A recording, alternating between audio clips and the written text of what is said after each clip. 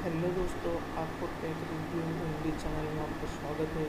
अगर आपका ये प्रॉब्लम हो रहा है कि आप अगर व्हाट्सअप ओपन करते हैं और आपको वो कॉन्टैक्ट नंबर सेव है, बट व्हाट्सअप में शो नहीं हो रहा तो इसका सलूशन मैं आज आपको लेकर आया हूँ।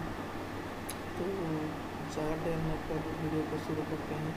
तो सबसे पहले आपको जाना पड़ेगा व्हाट्सएप की ऐप मैं आपको दिखा देता हूँ।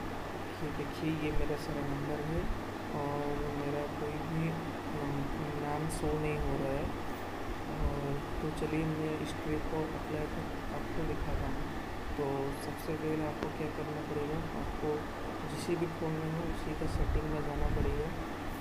और सेटिंग में जाने के बाद यहाँ पर एक ऐप्स होगा। अगर आप नहीं का से यूज़ करते हैं तो ऐप्स होगा। और कोई ऐप यूज़ करते हैं जो आपका जो इन्फॉर्मेशन होता है, वहाँ पर जाना पड़ेगा। तो चलिए, मैं ऐप्स पर जाता हूँ। उसके बाद मैनेज ऐप्स पर जाता हूँ। उसके बाद यहाँ पर जो यह सर्च ऑप्शन है, यहाँ पर सर्च कर लेता हूँ व्हाट्सअप तो देखिए व्हाट्सअप आ चुका है। तो यहाँ पर हमें क्या करना पड़ेगा?